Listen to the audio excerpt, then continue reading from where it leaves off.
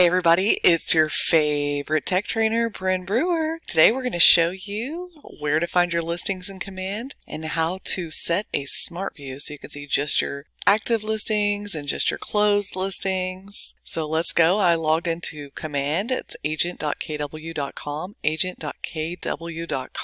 On the left hand side, I'm going to click on the listings icon or applet. Looks like a little for sale sign. It's the listings when I'm in here, the default view is all listing. So you can see like some of these are sold, some of these are active. So what I want to do is I want to click on my filter button and then I'm going to go under the listing status and click on sold and apply filters. This is going to show all of your sold properties. You can click this save button here in the top of your bar next to filters and click save as new smart view. I'm going to say sold listings you can set that as default if you want to come in and just see your solds. And then I'm going to click Save Smart View. Now you can see I have all listings and sold listings.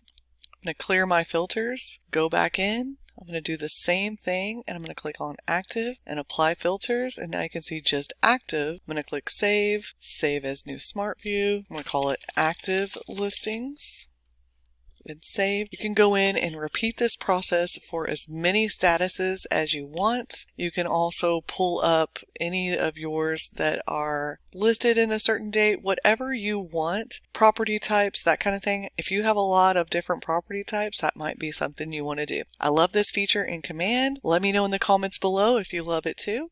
And